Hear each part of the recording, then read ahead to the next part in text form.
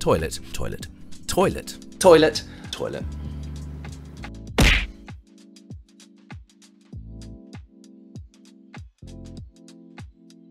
Friday, the 8th of February. The true Singapore girl, Ah Meng. 6 pm. Ah Meng has died. I was so shocked when Mum told me. Singapore's most famous orangutan was 48. That's 95 in human years, according to Popo.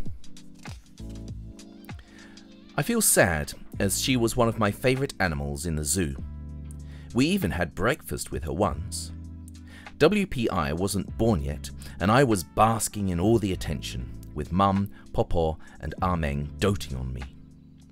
Ah Meng had some grapes, watermelons, and durians for breakfast. She was a true Singaporean at heart, loving her durians. Mum said Ah Meng was a true Singapore girl, a poster girl for Singapore and our world class zoo. See, just proves that you don't need to be beautiful to be famous.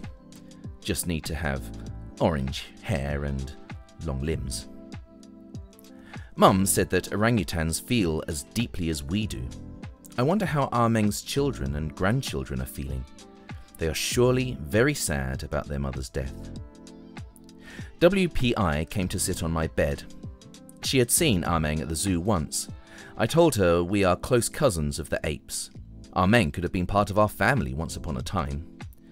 That got WPI crying. 9 pm. It's not just WPI who cried over Ah Meng's death, the whole of Singapore is mourning her death. Amazing. She was only an orangutan.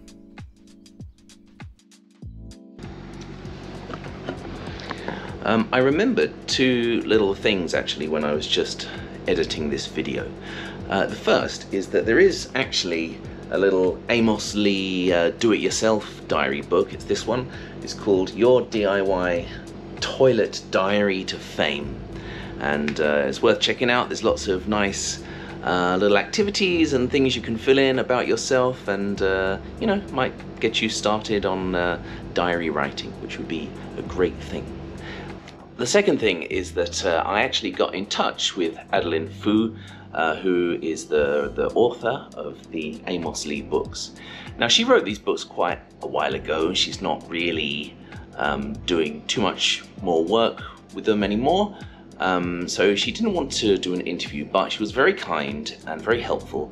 And uh, she told me to check out um, another interview that she did that is on her website. Um, and you can learn some pretty interesting things about the Amos Lee books uh, from this interview. So if you have uh, some time and a little bit of interest, go to Adeline Foo's website and take a look at the interview that she did. She she uploaded it to her website, um, especially after I told her that I was uh, reviewing her book for Mr. O. Reads. Anyway, let's uh, go back to the review and my rating. This is a light and funny school days diary that is also a love letter to Singapore.